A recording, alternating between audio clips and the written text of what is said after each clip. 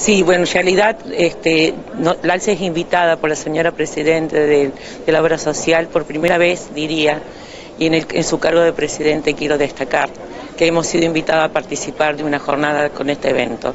todos saben, o por lo menos la ciudad de Ushuaia sabe, de la larga lucha y el tiempo sostenido que nosotros venimos trabajando desde la institución para la prevención y la lucha contra el cáncer. Así que muy contentos y, muy distinguidos que la señora Presidente nos haya invitado a participar de estas jornadas y que nos incentiva a seguir trabajando más y mejor. Agradezco la presencia de Adela y todo su equipo de Lucao porque bueno, con ellos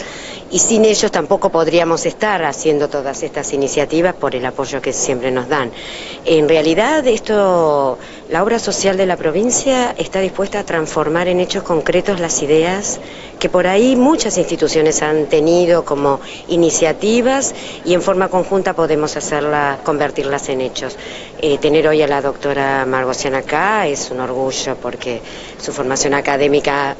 digamos, hay que resaltar la trayectoria internacional de la doctora y bueno, queremos transmitir su experiencia a todo el conjunto de profesionales de la provincia porque como siempre he dicho, eh, uno de los propósitos de la gobernadora y cuyo mandato tengo que llevar adelante es defender la capacidad instalada en la provincia. Eh, este desarrollo es una, un primer paso a que todas las intervenciones quirúrgicas de la doctora ojalá podamos concretarlas acá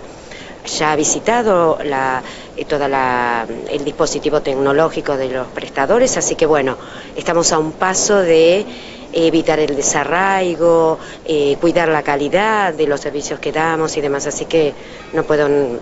decir nada más que es un orgullo tener a la doctora y el saber académico una vez presente y que va a ser constante en esta obra social. ¿Están invitados todos los profesionales y relaciones a la actividad sanitaria de la provincia? Se han invitado a los, profesionales específicos en cuanto a la patología que atiende la doctora, para que, bueno, más allá de escuchar este, su palabra, que bienvenido es, este, podamos ir de a poco con los prestadores, trasladar la capacidad operativa y la experiencia profesional en nuestra provincia, en los distintos prestadores. Vamos a dar un primer paso diría yo. Eh, mañana creo que hay una experiencia ya que la doctora va a presenciar para ver la capacidad de profesionales en el desarrollo de una intervención quirúrgica.